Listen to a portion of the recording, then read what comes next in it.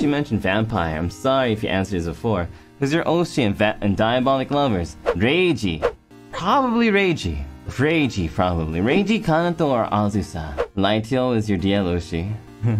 Don't you think he's all rude for saying, Beach-chan? All the time? Ruki? Yeah, Ruki's a really good choice. But I'm pretty sure Ruki's a little bit rude too when he says, Gachiku. For those of you who can speak Japanese, is Gachiku a rude word to say? She was chill. I forgot Shu's existence, but Shu had really good songs. What about Jijinachi? Ayato says Jijinachi. Ore-sama wa.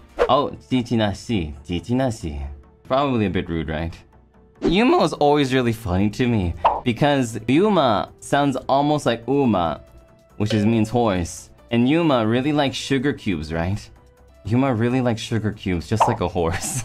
Firecall, I think Subaru is the only one who sleeps in a coffin. He's literally the edgiest guy. Would I sleep in a coffin? No.